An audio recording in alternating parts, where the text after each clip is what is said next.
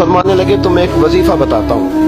امیر جتنی بھی نیکیاں کریں گے، تم امیروں سے آگے رہو گے۔ یا رسول اللہ، وہ کیا فرمایا، جب سونے لگو تو تیتیس بار سبحان اللہ پڑھو۔ تیتیس بار الحمدللہ پڑھو۔ چوتیس بار اللہ اکبر پڑھو۔ یہ پڑھ کے تم نے سونا ہے۔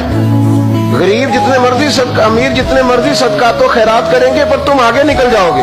حضرت ابو رضی اللہ تعالیٰ عنہ فرماتے ہیں، ان غریبوں کے چہرے پر اتنی خوشی تھی کہ جیسے یوں لگا ان کے ہاتھ بڑی جائدادیں آ گئی اللہ کے حبیب نے جب انہیں وظیفہ بتایا نا تو وہ کہتے ہیں بڑے خوشی سے واپس گئے۔ حضرت ابو حریرہ فرماتے ہیں ایک دو ہفتے کے بعد نا وہ غریب پھر آ گئے۔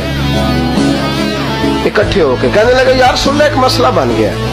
نبی کریم علیہ السلام نے فرمایا وہ کیا؟ کہا حضور وہ جو بات آپ نے ہمیں بتائی تھی وہ تو لیک ہو گئی۔ وہ تو امیروں نے بھی سن لی ہے۔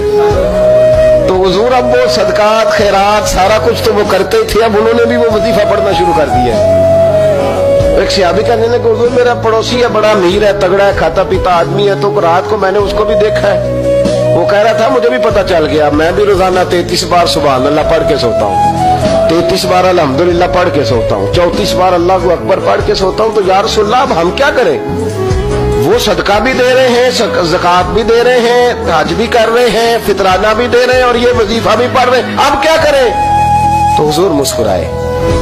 اور مسکرا کے فرمایا اب نہیں کچھ ہو سکتا۔ اس لیے کہ ذالک فضل اللہ یوتی ہی میں یشا یہ آیت پڑھی حضور نے۔ معبو فرمانے لگی بھی یہ تو اللہ کا فضل ہے، وہ جس کو چاہتا ہے عطا فرما دے۔